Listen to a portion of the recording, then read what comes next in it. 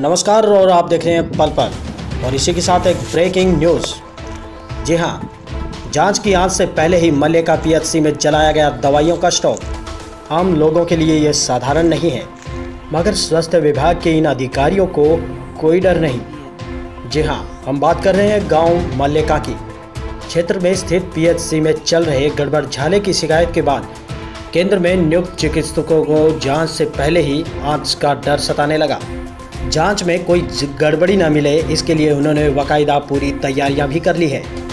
गत दिवस केंद्र में पड़े दवाइयों के स्टॉक को स्टाफ सदस्यों ने मिल करके आग के हवाले कर दिया। और इस बात की भनक वहाँ से गुजर रहे ग्रामीणों को लगी तो उन्होंने जलाई जा रही दवाइयों की फ़ोटो मोबाइल पर खींच ली। हालाँकि दवाइयों को आग के हवाले कर स्टाफ सदस्य अपने रास्ते का कांटा हट जाने की सोच करके केंद्र में आकर बैठ गए। यानी वो पूरी तरह से निश्चित हो गए थे। लेकिन उन्हें क्या पता था कि चोर चोरी करने के बाद कोई निशान छोड़ जाता है।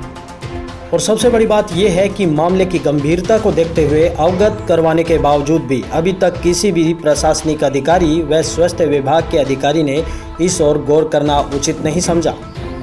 आपको बता दें कि मल्लिका पीएचसी के पीछे, पीएचसी में पिछले काफ़ी समय से स्टाफ द्वारा गड़बड़ी की जा रही है। अधिकारियों से साठ गांठ के चलते केंद्र में नियुक्त अधिकारियों व कर्मचारियों के हौसले इतने बुलंद हैं कि वे हाजिरी का रजिस्टर तक अपने साथ लेकर घूमते हैं। यहाँ तक कि नियुक्त चिकित्सकों की दरियादिली के चलते उनके नीचे काम करने वाले कर्मचारियों की भी पोबारा हो चुकी है।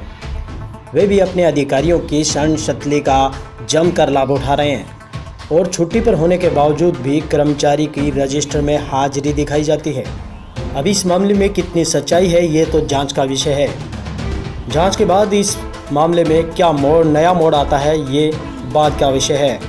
बहरहाल, कोई अधिकारी इस पर बोलने को तैयार नहीं है। आप देख रहे हैं महेंद्र कुमार की ये खास रिपोर्ट।